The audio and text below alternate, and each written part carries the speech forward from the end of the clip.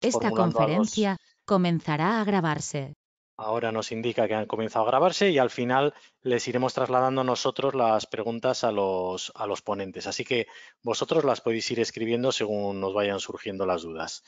Y sin nada más, voy a dar paso a mis compañeros y indicaros lo único que, que, ya sabéis que el webinar tendrá una duración de una hora. Para quienes no me conocéis, que me tenía que haber presentado lo primero, soy Pedro Carrascal y soy el director de, de de la asociación. Así que nada, adelante Lide, adelante Lander, todo vuestro. Es que ricasco. Pedro. Eh, soy fisio de Adembi. Arracha León, Onguietorri y buenas tardes y bienvenidos. Quería comenzar este webinar con tres preguntas. La primera sería, ¿crees que debes hacer ejercicio si siempre estás cansada? Algunos pensaréis, bueno, cuando estoy cansada, a mí lo que me gusta es estar tirada en el sofá, ¿no? O cuando estoy cansada lo que hago es descansar, dormir, echarme una siesta. O puede que alguno de vosotros penséis lo contrario, ¿no? Pues sí, oye, cuando, cuando me doy cuenta de que estoy cansado, hago un poquito de ejercicio y me doy cuenta de que después me siento mejor y que cuanto más ejercicio hago, mejor me siento. Bueno, otra pregunta que os quiero hacer es, ¿cuál crees que es tu mejor momento para hacer deporte? Porque no da igual la hora en la que hacemos deporte. Puede que tu mejor hora para hacer deporte sea por la mañana, incluso en ayunas, y, o que bueno, tu mejor hora para hacer deporte sea por la tarde, cuando ya ha acabado el día y ya no tienes nada más que hacer y sea tu momento de relax y hacer ejercicio te venga bien. O quién sabe, ¿no? Pues, eh, pues bueno, cada uno tiene su, opción. Y la última pregunta que os quiero hacer es, ¿cuál es tu actividad favorita? ¿Qué es lo que más te gusta hacer? Puede que lo que más te guste hacer pues sea hacer actividades eh, en exterior, en el aire libre, o que seas alguien que te guste el gimnasio, o que te guste hacer actividades eh, tú solo o en grupo, o que, bueno, pues que te guste más hacer en el agua o, bueno, pues cada cual, entonces no sé, que pienses un poquito qué es lo que más te gusta hacer, ¿no? Si te gusta utilizar una, una bicicleta o otro material. Bueno, eh, esas son tres preguntas que me gustaría que pensáis un poquito y que cuando queráis, pues si queréis, las podéis eh, poner ahí en el chat, las podéis contestar y al final del día, al final del, del webinar, pues las podemos ir contestando, ¿de acuerdo? Vale. Los objetivos de este webinar es un poquito eh, daros a conocer, explicar un poquito, hablar de, qué es la fatiga, de cuáles son las características, mm, qué, es el ejercicio físico, qué diferencia tiene con hacer actividad solamente y qué beneficios nos puede atraer el hecho de hacer ejercicio físico cuando tenemos fatiga y esclerosis múltiple y cuál es el mejor momento para hacer ejercicio físico. Y bueno, aquí tenéis el índice de contenidos, pues bueno, un poquito vamos a seguir este orden de, comentarios, ¿no? De la fatiga, cómo nos afecta, qué ejercicio me afecta, me beneficia más, eh, por qué me interesa practicar ejercicio físico y luego, pues, cómo gestionar la energía, ¿no? Cuando estamos cansados, pues, cuál es el mejor momento o cómo hacer para que mi energía, pues, vaya a mi favor y no en mi contra, ¿no?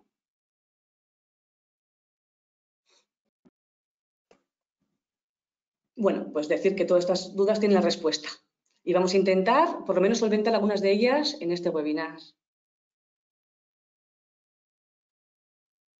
Gracias, líder. Eh, Arracha León, muchos ya me conocéis, yo soy Lander, soy otro físico más de Envy. Y bueno, para seguir, creo que es coherente daros un poco de información más sobre la fatiga y es que es el síntoma más común de la esclerosis múltiple. Eh, ya no es solo que gran parte de vosotros y de vosotras habéis hablado de fatiga en algún momento desde el diagnóstico, sino también que muchos también nos comentáis, no solo a nosotros, sino a médicos, neurólogos y demás, que es el síntoma más incapacitante. Tiene un abordaje bastante complejo, pero sí que nos gustaría recalcar que precisamente la actividad física es una de las formas más eficaces de manejarlo. La fatiga se define como una sensación de cansancio que puede ser físico psíquico y que no solo percibís vosotras, sino también vuestra familia, vuestra persona cuidadora o cualquier otra, o cualquier otra persona de vuestro entorno. La fatiga, en líneas generales, la clasificamos en función de tres parámetros distintos. Eh, sobre todo a vosotras os va a importar el último, pero las terapeutas cuando os preguntamos por fatiga sí que nos gusta conocer la mayor cantidad de información posible porque eh, cuanta más información tengamos, más fácilmente podremos ayudaros a abordarla. Por una parte tenemos fatiga aguda o crónica en función del tiempo. Simplemente que sepáis que la fatiga aguda, hace referencia cuando ha empezado hace bien poquito, eh, las últimas semanas, mientras que la, la fatiga crónica sucede durante gran parte de los días y por lo menos durante seis meses. Y para nosotras, para conocer cómo abordarla y cómo pautar ejercicio, entre muchas otras cosas, es un dato importante a conocer. También tenemos fatiga primaria y secundaria, siendo la primaria secundaria a lesiones de, la enfermedad o actividad inflamatoria en el sistema nervioso central, y la secundaria es consecuente de síntomas, como lo pueden ser la espasticidad, los espasmos y muchas otras cosas. Muchas veces esta fatiga secundaria mejora con un abordaje de los síntomas, así que también nos importa.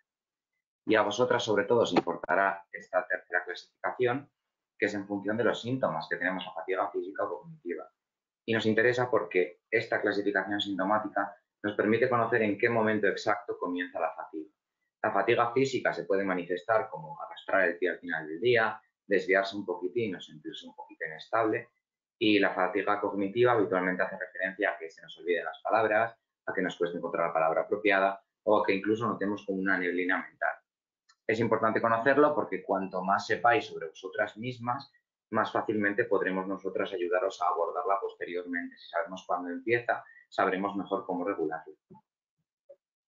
La fatiga es un síntoma que va a fluctuar no solo de un día para otro, sino que también puede tener fluctuaciones dentro del mismo día. Y es importante conocerla para poder adecuar vuestro día. Y es multidimensional.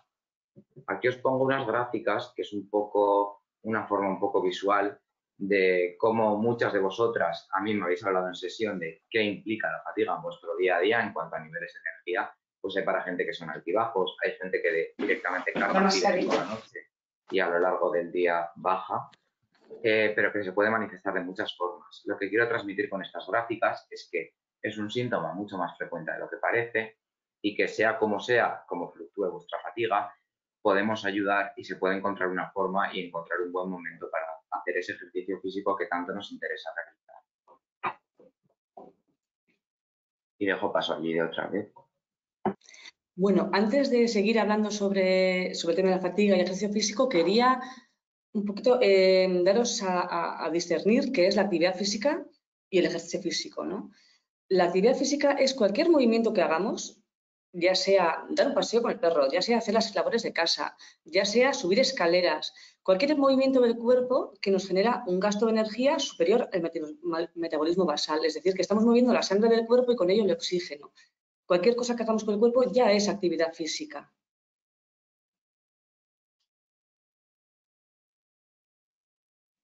¿Puedes pasar al siguiente?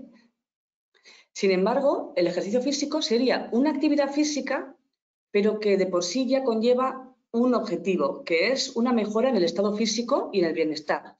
Es decir, es una actividad física, pero en el que ya estoy haciendo unas mediciones, ya estoy haciendo eh, algo con unos, eh, unos objetivos más concretos. Es decir, puede que con la actividad física quiera eh, mejorar la resistencia al esfuerzo porque me canso mucho. Puede que quiera reducir el tono muscular. Puede que quiera mejorar mi fuerza o que quiera mejorar el equilibrio o la flexibilidad.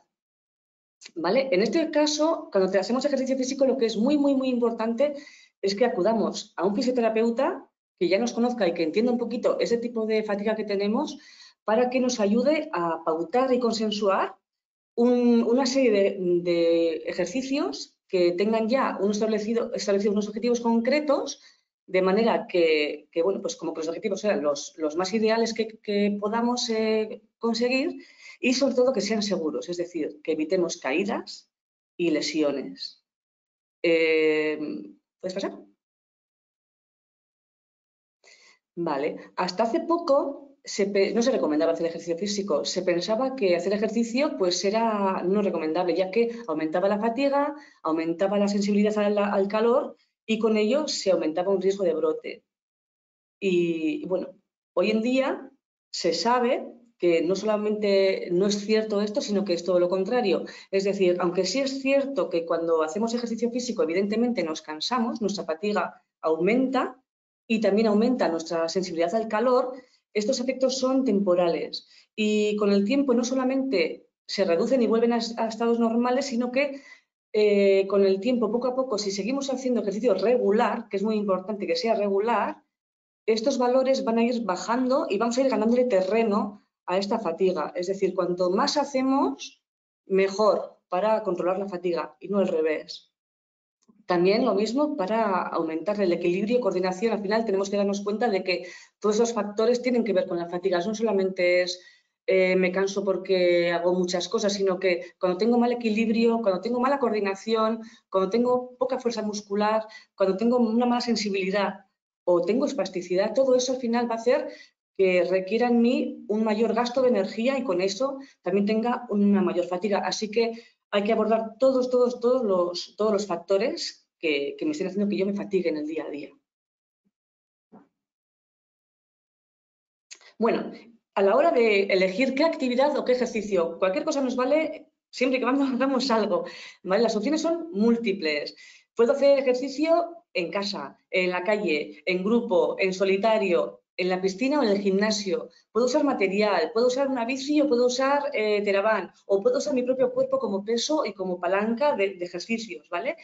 Lo importante, lo que, lo que he dicho antes, que acudas a tu fisioterapeuta para que juntos eh, eh, establezcáis un plan de trabajo en el que hagáis una combinación de ejercicios que trabajen todos estos componentes que nos están eh, haciendo que tengamos fatiga, ¿de acuerdo? Y sobre todo que esté adaptado a tus gustos, ya que es importante que, este ejercicio sea regular y que no nos cansemos al segundo día, porque me he apuntado al gimnasio, pero al segundo día pues, me ha gustado y me he marchado y no lo he vuelto a hacer, sino que sea algo que te guste y que tú sepas que vas a llevarlo regularmente a cabo y así podemos tener unos objetivos mejores, ¿vale? Y sobre todo que estén adaptados a tus necesidades individuales, ¿vale? No me vale ir a un sitio y hacer algo que no sé si me viene bien o mal. Entonces es importante que tu fisioterapeuta eh, realice el plan junto contigo para que os adaptéis a, a estas necesidades y a estos objetivos claros y concretos. Pero lo que digo, lo más importante es que no te quedes quieta y que el sedentarismo no es ninguna opción, ¿vale? Cuanto menos hago, peor. Y cuanto más hago, pero bien hecho, mejor. ¿Vale? No me quedo ni quedar corto ni, ni pasarme. Entonces, hay que hacer lo que se pueda y lo que mejor eh, nos venga, pero hay que hacer. Hay que hacer ejercicio o alguna actividad. ¿Ejemplos de ejercicios? Pues los que queráis, los que más os gusten. Aquí os dejo unos cuantos ejercicios para que veáis. Puedo hacer yoga, Puedo hacer pilates, puedo hacer ejercicios de pesas en un gimnasio o bici en casa o en la calle. Puedo hacer piscina en grupo o sola. Cada vez nos dejan hacer menos cosas en grupo, pero bueno, mientras se pueda, pues, pues se hace. O igual en el futuro podemos seguir haciendo. Eh, sin más, pues puedo hacer danza, puedo hacer caballo, ¿vale? Pero eso, que en resumen, que el ejercicio tiene que ser regular, cuidar, hacer algo que me guste y que, que sea algo que me venga bien a mí personalmente, que, lo hagas con tu fisioterapeuta para que te ayude a elegir cuál es el mejor, que, el mejor adaptable hacia ti, que, bueno, que lo puedo hacer con más gente, en un medio acuático será más fácil porque me desgravita, pero eso, que sea algo que sea para ti y personalizado.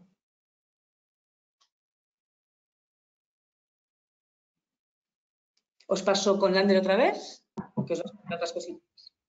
Bueno, eh, retomando un poco el tema que hemos dejado antes, me gustaría que el, echéis un minuto para ver esta tabla, que es un ejemplo de diario de fatiga, que es algo con lo que las terapeutas habitualmente somos muy, muy pesados. Y es que un diario de fatiga no es que solo nos aporte mucha información a nosotras para saber cuál es el momento apropiado para hacer ejercicio, sino también os aportarán información a vosotras mismas para conocer mejor cómo funciona vuestro cuerpo y cómo fluctúa vuestra fatiga. Me gustaría también recalcar el punto emocional, porque se sabe que la práctica de ejercicio físico, sobre todo la práctica regular, mejora el estado anímico, porque nuestro cuerpo libera unas sustancias que se llaman endorfinas, también dopamina, que estimulan un estado anímico un poco más positivo. Así que esto es algo con lo que insistimos bastante. Y todo esto es porque al igual que para las tareas del día a día, conocer cuál es el mejor momento es imprescindible para poder planificar yo tengo que saber en qué momento de mi día tengo el nivel de energía óptimo para poder hacer esa actividad física, pero que luego no me deje barrida. Es decir, yo si tengo que ir a una clase de pilates y luego eh, hago la cena en casa, tengo que saber si yo puedo con ambas tareas o igual el día que yo haga la clase de pilates tengo que delegar el hacer la cena en mi pareja o en cualquier otra persona. Además, también eh, nos tiene que permitir adaptar el resto del día. Es decir, no solo para hacer actividad física tengo que estar reventada el resto del día, igual tengo que bajar un poquitín el ritmo. Eso es un poco ir viendo.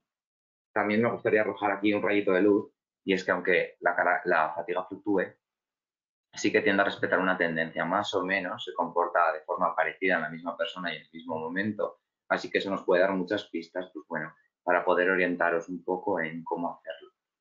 Y también decir que hay varios factores que influyen en la fatiga, no solo el ejercicio, y a eso pasaremos ahora. Em, en cuanto a los factores que influyen, hay un sinfín de factores que sabemos que influyen en la fatiga. Os he puesto los cinco más importantes y quiero dedicarle un poquitín a cada uno simplemente porque lo entendáis.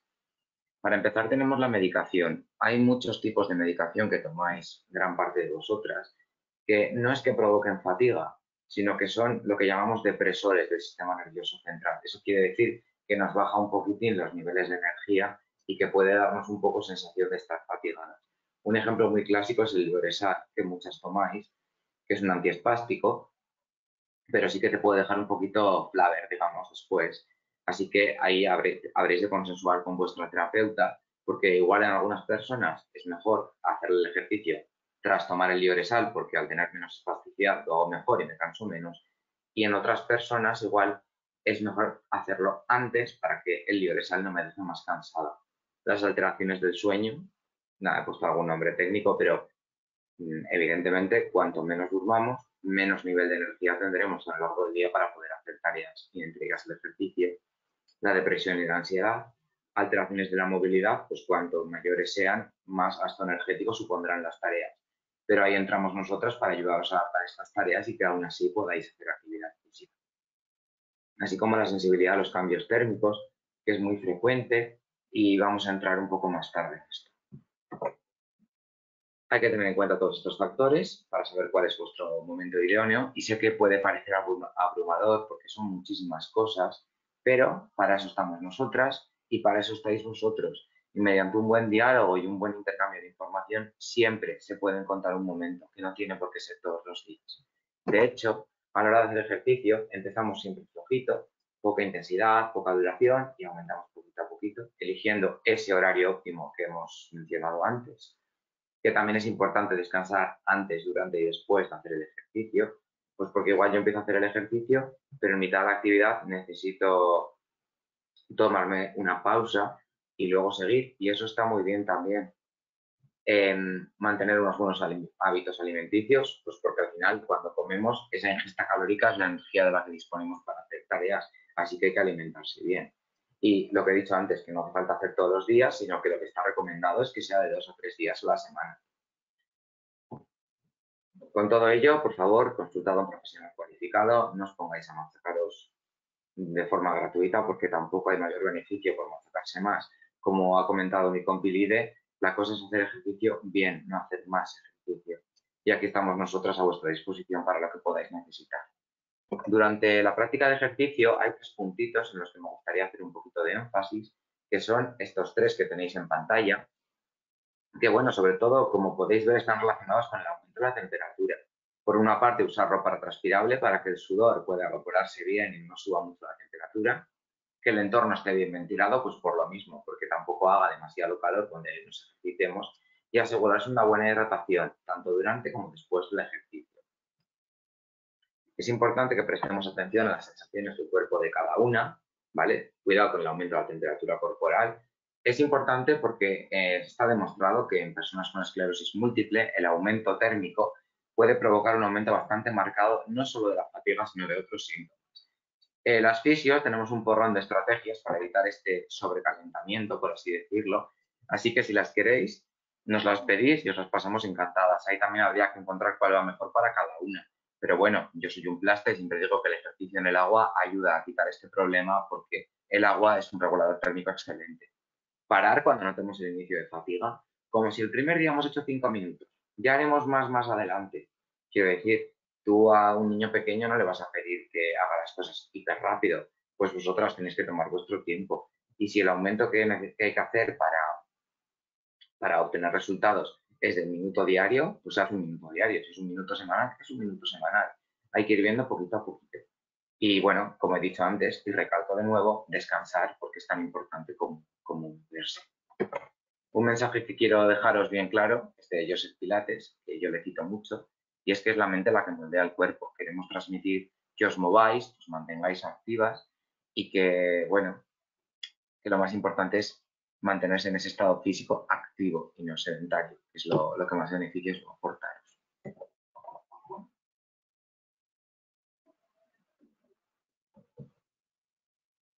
Sí, hola. Bueno, muchas gracias eh, chicos por la, por la presentación. Eh, creo que con esto tenemos una buena base ya veo que hay algunas preguntas, así que seguro que ahora eh, nos ha generado dudas y cuestiones que vamos a poder abordar entre todos. Por aquí estoy viendo una de Estefanía que pregunta qué tipo de aparatos para hacer gimnasia en casa creéis que son más adecuados. Bueno, existen, por ejemplo, las, las estáticas. Está muy bien cuando queremos hacer, porque además tienen, suelen tener eh, aparatos para medir los pasos, incluso la frecuencia cardíaca algunos, eh, y podemos, bueno, pues creo que es una buena herramienta para hacer ejercicio aeróbico. O, bueno, podemos también tener Teraband eh, para hacer ejercicios de fuerza. Hay un montón de posibilidades en casa. hay gente que tiene cintas de correr también, por ejemplo, no sé, ¿qué, qué se te ocurre? ¿Una pelota, por ejemplo, de boba? Yo algo que recomiendo siempre que se compre, igual también es por mi formación, como trabajo yo, creo que nunca está de más tener una pelota de, mm. pilates que valen 5 euros en Decathlon y sea cual sea el estado físico se puede adaptar a algún tipo de actividad, al igual que los aros de pilates, porque muchas veces el problema de las bandas elásticas es que eh, cuando trabajas con un objeto elástico a fuerza, hay que tener en cuenta la longitud del objeto y la elasticidad del objeto para ver cómo subes luego la carga para que la persona mejore. Entonces yo suelo recomendar que se tengan pilota, pelotas de pilates, aros de pilates y las míticas pesitas pequeñas. Yo durante la cuarentena algo que usaba mucho para las sesiones telemáticas son los paquetes de arroz y de pasta, que en los supermercados mm, puedes encontrar tanto de kilo como de 5 kilos. Entonces ahí para hacer una progresión puedes jugar bastante pero bueno, un poco también depende del estado físico de cada uno y de qué abordaje se esté haciendo. Incluso sentado en una silla y con un cojín que puedas poner debajo de un pie para destabilizar el, peso, también te puede servir. O sea, cualquier cosa que tengas en casa que te pueda servir para, como herramienta. Hay un montón de materiales que se pueden sustituir. No hace falta que tampoco tengamos material súper profesional. Nos podemos adaptar con lo que haya por casa perfectamente. Muy bien. Aquí Carmele García nos pregunta, ¿pararse cuando aparece la fatiga es dar por hecho que la fatiga es cansancio al hacer cosas? ¿Eso es a lo que nos referimos con, fatiga? Eh, ahí creo que ha sido culpa mía y es que yo no me he explicado bien. Eh, voy a volver a la diapo de las gráficas, que creo que con eso me voy a poder explicar un poquitín mejor. ¿Me dais un segundito, por favor? Eh, vale, es que yo me he explicado mal. hay gente no encontré una gráfica buena porque estos son gráficas de física y los físicos no hablan mucho de temas médicos. Em, y es que hay gente que tiene, digamos, una fatiga primaria de base, que es lo que hemos dicho antes, que está relacionado con la actividad inflamatoria. Y luego a eso le tienes que sumar la fatiga cardiorrespiratoria y la fatiga neuromuscular que, hace por, que aparece por hacer actividad física. En casos de gente que tiene una gran cantidad de fatiga primaria, que muchas veces impide tareas cotidianas, como he leído por ahí que decís de secarse el pelo o cualquier otra actividad del día a día, eh, haciendo un diario de fatiga y siguiéndolo un poquito a rajatabla, siempre se encuentra un momento apropiado para hacer actividad. Yo voy a poneros un ejemplo práctico, no voy a dar nombres porque eso sería bastante ilegal. Yo tuve una paciente que ella literalmente me transmitía que se sentía bastante mal porque cuando estaba comiendo, si comía un alimento muy duro, tenía que parar de masticar ya no por fatiga del masetero, sino porque estaba agotada. Y lo que hicimos fue un abordaje con un diario de fatiga de dos, tres semanas aproximadamente, que hay que decir que lo hizo a rajatabla y eso es muy importante. Y ahí encontramos que todos los días tenía una franja a las 6 de la tarde que le permitía como una media horita de actividad. Y comenzamos con una intervención con tres sesiones de ejercicio a la semana de media hora, nada más. Y a veces con eso es más que suficiente. La cosa es encontrar ese momento del que hemos hablado tantas veces a lo largo de esta charla y adecuarlo a tus necesidades. Y Carmele también nos preguntaba eh, alguna recomendación para los que están eternamente fatigados. Entiendo que con esta fatiga a la que te referías de base, ¿no? Sí, ahí la recomendación desde mi punto de vista sería más bien la misma, encontrar ese periodo ventana. Yo sí que es verdad, eh, hay casos de fatiga muy grande y que igual simplemente nos van a permitir 10 minutos de actividad. Pero al igual que hemos dicho a lo largo de toda la presentación, más vale algo que nada. O sea, aunque sean cinco minutos bien hechos y de cosas específicas, ya con el tiempo habrá una progresión. Y también es importante, aparte del de, periodo de ventana, el elegir la actividad, que no sea algo que yo lo vea como tengo que hacer actividad y tiene que ser algo que, que me siente yo que me estoy cansando y que estoy trabajando y que estoy subiendo. También puede ser cualquier cosa y si elijo algo que me gusta y con lo que disfruto, yo creo que a veces no te das ni cuenta de que estás haciendo ejercicio. A lo mejor te gusta bailar o te gusta, no sé, hacer algo con lo que tú no eres ni consciente de que estás haciendo actividad física y poco a poco también va aumentando esa capacidad de, soporte de esa fatiga, ¿no? De la capacidad de esfuerzo. Entonces yo creo que el elegir la actividad también es importante. Aquí hay una pregunta que va un poco vinculada a eso, Lide, también nos lo podríamos enganchar aquí, que pregunta Hitor por los ejercicios en el exterior quizás algunos de estos ejercicios o actividades pueden vincularse ¿no? también a cuando estamos en la calle. Es que en la calle, pues fíjate, pues eh, ahora pues no sé, cada vez nos dejan estar menos en la calle, pero, bueno, eh, simplemente pues, puedes elegir ir a dar un paseo. Ese pase, en ese paseo yo me puedo medir la frecuencia cardíaca y con eso ya puedo estar calibrando eh, la cantidad de oxígeno que estoy moviendo y si estoy haciendo trabajo aeróbico o anaeróbico. Puedo elegir un lugar donde haya más pendiente o menos pendiente, el tipo de, si voy, pues, si voy a, un sitio donde haya naturaleza, pues, pues fíjate, me distraigo también porque estoy viendo un paisaje que me gusta. Eso ya va a hacer que mi sensación de cansancio igual sea hasta, hasta, hasta menor, ¿no? Eh, pues yo qué sé, es que se puede aprovechar un banco para de repente hacer unos estiramientos. Al final, imaginación al poder también, ¿no? Eh, es que yo creo que es que la, final las opciones son múltiples. A mí se me ocurren un montón de cosas, pero claro, también cada cual pues tiene que elegir la que, la que le guste, ¿no? Pero en la calle pues se me ocurren un montón de cosas. Cada cual también según sus posibilidades, ¿no? A mí ahí me gustaría añadir que, sobre todo, bueno, en verano no lo recomendamos tanto, al menos no en franjas intermedias del día. Desde el punto de vista del control térmico, hacer actividad física en la calle siempre va a ser mejor que hacer en un interior, porque muchas veces un interior no está del todo bien ventilado y en la calle el aumento de la temperatura corporal es bastante más bajo. Entonces, depende qué actividad se vaya a hacer, cómo y el momento del año, yo sí recomendaría encarecidamente la práctica de actividad física la calle. Lo que sí que tener en cuenta cuando estamos en, en, la calle, pues también es la seguridad, ¿no? En la calle es verdad que no tenemos a veces los, los medios que tenemos en los sitios cerrados de que sea todo pues, mucho más, eh, más controlado, ¿no? Pues nos podemos encontrar con baches, con algo en el suelo, con, con obstáculos, que también tenemos que tener cuidado de no tropezarnos y no tener un accidente, ¿no? Pero bueno, siempre hay sitios que están como muy lisitos o que, bueno, pues podemos, podemos siempre con más cuidado podemos utilizar este medio y este, este lugar para Muy bien. Pues aclarado. Em, pregunta por aquí Estefanía también que qué opinión tenéis de los aparatos de gimnasia pasiva, tipo Vibroleg eh, o similar. No los uses. Simple. O sea, quiero decir, yo ahora voy a elaborar, evidentemente. Eh, bueno, este es un tema con el que los fisios nos ponemos siempre así arremangados, listos para la lucha colosal porque es una pregunta hipercomún, igual que los famosos parches de neuroestimulación para la musculatura, que mucha gente se piensa que va a ganar fuerza o que va a ganar masa. A ver, esto se coge así como con pinzas y bastante mal cogido. El tema es que al final lo que te va a producir un beneficio real en tu organismo a nivel de fisiológico es que tú hagas la actividad física. El trabajo pasivo no sirve de absolutamente nada. en el tema de la electroestimulación, sí nos podríamos meter cuando por algún tipo de lesión ciertos grupos musculares no se activen. Pero ahí ya tendría que estar consensuado, pautado y en sesión con un fisioterapeuta para evitar demasiada activación muscular, porque hay demasiadas compensaciones. Pero así como en líneas generales, el uso de aparatos pasivos, no. Si quieres conseguir mejoras en fatiga al menos, no. Vale, pues bastante claro, nos lo dejas. ¿Y de la crioterapia, qué, qué, opinión tenéis? ¿Es una opción, por ejemplo, para la fatiga muscular?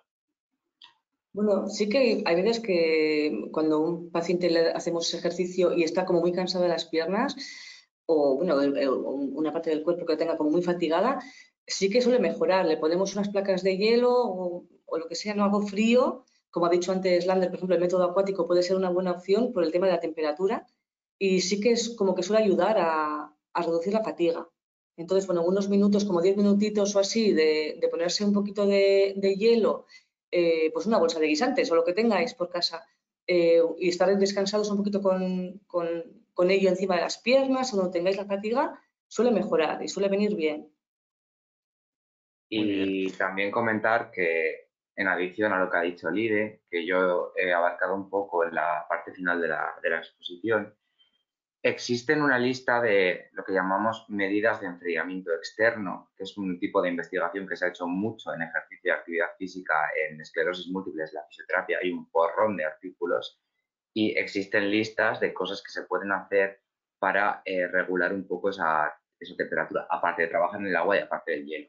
Os voy a poner un par de ejemplos y si alguien quisiera un asesoramiento específico, encantadas estamos, o nos ponéis un mail o concertáis cita, lo que necesitéis. Así en líneas generales, beber agua fría después de hacer ejercicio, yo lo suelo hacer mucho en mis grupos de pilates, porque los líquidos se absorben en el estómago, es la primera parte del sistema digestivo. Si tú bebes agua a una temperatura que esté muy inferior a tu cuerpo, te va a ayudar a enfriar sangre más rápido que ponerla en la piel, porque va por conducción, que es bastante más lento.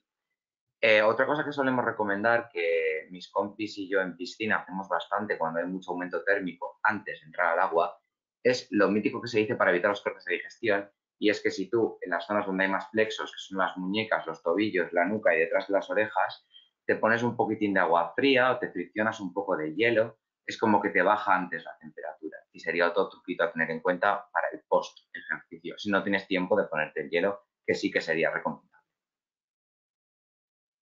Muy bien. Tenemos una pregunta sobre cuando la propia ah, fatiga produce ansiedad. En concreto dice, en ocasiones cuando entreno me falta aire y es producido por la ansiedad de estar fatigada.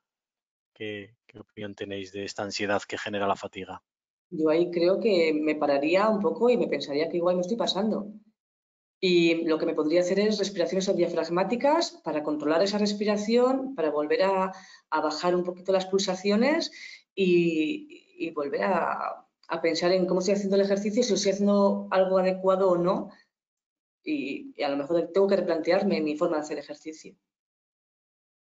Para, añadir a lo del IDE, yo ahí lo que diría también sería que la intensidad es excesiva. Quiero decir, yo ahí entiendo que te metes en un círculo vicioso de ah, me fatigo, hiperventilo, la hiperventilación me provoca ansiedad, que me provoca más hiperventilación yo creo que hay, sobre todo a nivel de intensidad aeróbica, es excesiva. Y si hay que empezar por 5, se empieza por 5. Como ya hemos dicho, no pasa nada. O sea, al final, cada uno tiene un nivel basal, por así decirlo. Y si hay que hacer mejora, el estímulo de que te cueste tiene que ser suficiente, pero no tiene que ser excesivo. Quiero decir, haciendo ejercicio físico no tienes que pasarlo mal, porque si no, no lo vas a hacer. Algo que mm. queremos dejar bien claro es que tienes que hacer algo que te guste. No solo que te ayude, sino que te guste. Muy bien. Que hay una pregunta sobre, dice que, la fatiga, que, como también puede ser cognitiva, si no pensáis que debería ser un abordaje multidisciplinar, este abordaje de la fatiga. Sí. Y de hecho eh, es algo que hacemos mucho porque, a ver, eh, se ven muchos casos distintos y hay gente que aún haciendo actividad física, a no tiene fatiga física o no tiene síntomas físicos de fatiga, pero sí tiene síntomas cognitivos. Muchas veces es un, aquí en Adenvi ya sabéis que trabajamos en un equipo multidisciplinar, que somos, no solo somos fisios, aunque somos aquí como la peste negra, sino que también trabajamos con terapeutas ocupacionales y con psicólogas. Entonces, al final, eh, nosotros muchas veces cuando hacemos un abordaje integral de la fatiga, hacemos una mesa redonda y debatimos y intentamos buscar al final qué es lo mejor para la persona. Porque, como decimos siempre, a mí lo que me interesa no es que me aguantes una clase de pilates de 45 minutos. Es que tú me puedas decir la semana que viene que, oye, qué bien que estás jugando con mi hijo y te aguanta bien. Entonces yo ahí sí haría un abordaje multidisciplinar, por supuesto. Muy bien. ¿Qué relación veis entre la alimentación y la fatiga? ¿Veis alguna relación? Sí, muchísima.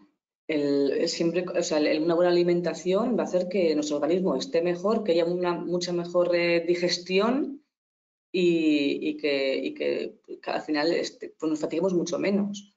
Eh, yo creo que la relación es muy directa. No podemos comer cosas muy pesadas y luego pretender hacer ejercicio y que, no, nos, que no nos afecte la fatiga. Yo creo que la mejor alimentación ya sabemos cuál es, pues la mediterránea, mucha verdura, mucha fruta, comer a menudo pero poca cantidad y hay ciertos alimentos bueno, pues que nos vienen mejor o, peor, ¿no? Y, y, que evidentemente nos va a afectar a que, a que tengamos más fatiga y que la alimentación tiene que ser adecuada al gasto energético. Esto quiere decir que si comemos poco, mal y a deshora, no podemos pretender tener un nivel de energía óptimo, pero no solo para hacer ejercicio, para hacer cualquier cosa en la vida. La alimentación es basal en el autocuidado. Sí que es verdad que nosotras como fisioterapeutas no podemos hablar de nutrición, pues porque no tenemos la formación suficiente. Pero sí que es verdad que, bueno, eh, sí que podemos recomendaros, si se va a hacer una intervención exclusivamente con ejercicio físico, algún tipo de nutricionista o algo por el estilo para complementar el trabajo de actividad física. Es tan importante lo que te metes por la boca como dormir para que las ganancias en cuanto al estado físico sean buenas si se hace actividad física. Son como tres componentes de una misma casa. Muy bien. Nos pregunta Javier, nos dice que que el momento de, descansar y levantarse eh, le resulta muy complicado, tiene que darse duchas frías tanto en verano como, en invierno y que sin embargo por las mañanas pronto eh, pues, o por las noches que se puede manejar bien. Que cómo superar este momento de, parar, de comer y tener que hacer ese descanso y volver a reactivarse, que para él es muy duro. Sea, después de comer, ¿no? La fatiga que mm. genera, me imagino que dice, necesito darme una ducha fría, enfriar mi cuerpo para poder andar tanto sea en verano como en invierno. Pues eh, después de comer. Cuando como y descanso me cuesta muchísimo levantarme para comenzar a hacer algo. Yo, mm, ahí sinceramente... La siesta, esa parada al mediodía. Yo ahí sinceramente ah, no te puedo decir hasta qué punto es fatiga y hasta qué punto es que nosotros cuando comemos nuestro cuerpo pasa a modo descanso. Eso es un, hecho, a todos nos da la modorrilla. Se te dispara un sistema nervioso que nosotros llamamos parasimpático, que es el del descanso.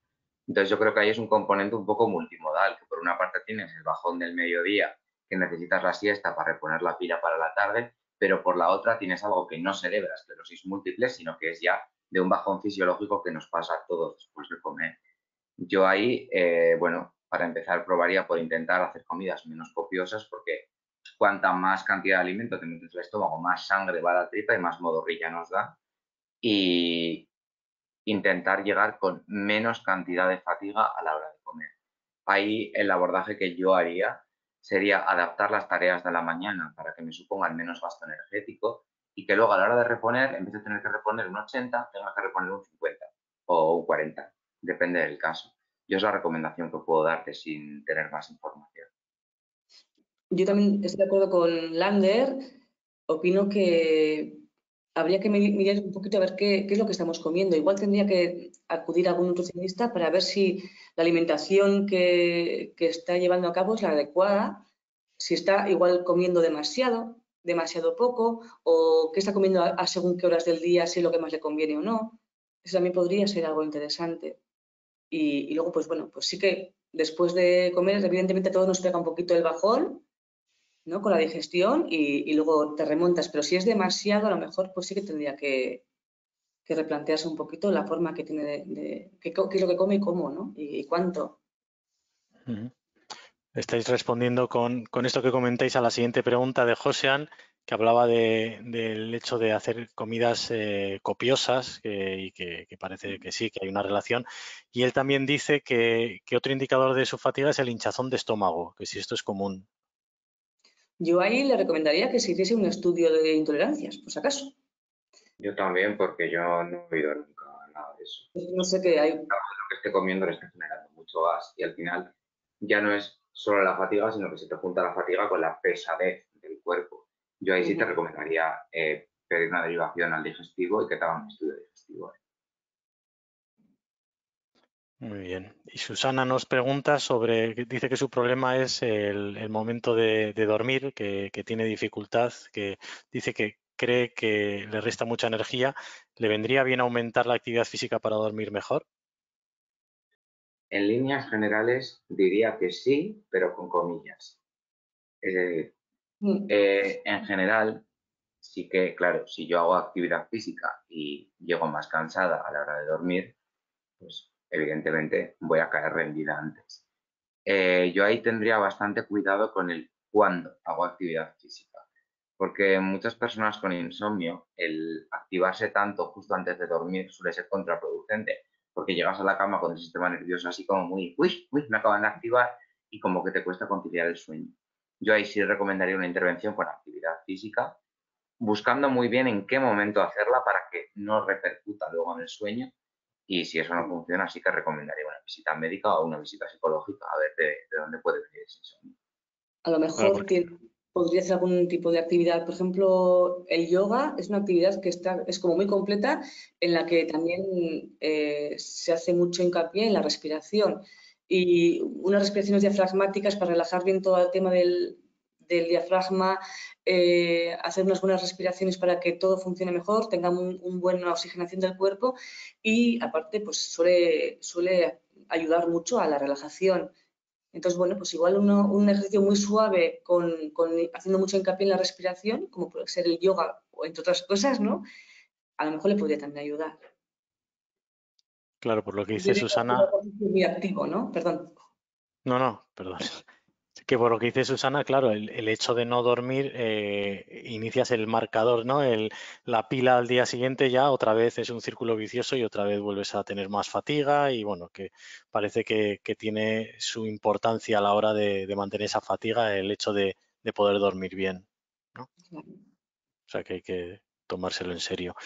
Pues en principio creo que están respondidas las preguntas. Ah, mira, justo acaba de entrar otra de Javier. Al hilo de la respuesta que habéis ofrecido a su pregunta, me gustaría saber si hay nutricionistas en la asociación o tenéis referencia de alguno que tenga cierta experiencia con pacientes eh, como nosotros. Eh, por el momento no tenemos nutricionista en, en Adembi.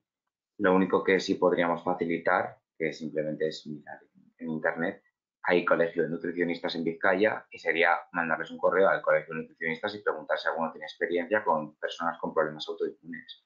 Esa es una información que se puede conseguir fácilmente, pero por el momento no, no tenemos nutricionista aquí.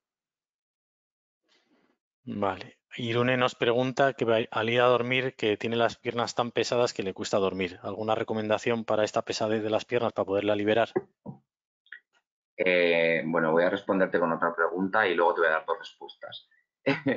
Eh, esta pesadez de piernas que comentas se alivia si las mueves, porque es una cosa que llamamos como síndrome de piernas móviles o algo por el estilo. Eh, yo hay algo que recomendaría, sí que sería el trabajo de elasticidad antes de ir a dormir, porque esta pesadez de piernas puede verse el aumento del tono muchas veces y es bastante frecuente, sobre todo si tienes también espasmos nocturnos. Em, vale, ya he visto la respuesta. Yo ahí lo que te recomendaría para empezar sería probar con estiramientos eh, y si no se alivia y la sigues notando como plomo, yo se lo comentaría al neurólogo. Igual lo que necesitas es un aumento de medicación, una medicación nueva por la noche. José nos pregunta por el ayuno intermitente, tanto respecto a la fatiga física como a la cognitiva que le está funcionando. ¿Qué, qué opináis? O bueno, no sé qué opináis o qué es su recomendación, vamos, no. Gracias por el, por el aporte, José. Yo, como he comentado antes, no soy nutricionista, sí que puedo hablar de algún artículo que he leído en cómo influye en la, capacidad respiratoria y muchas otras cosas, pero como fisio no te puedo dar ninguna respuesta contundente de si lo recomiendo o no, porque no tengo el conocimiento necesario.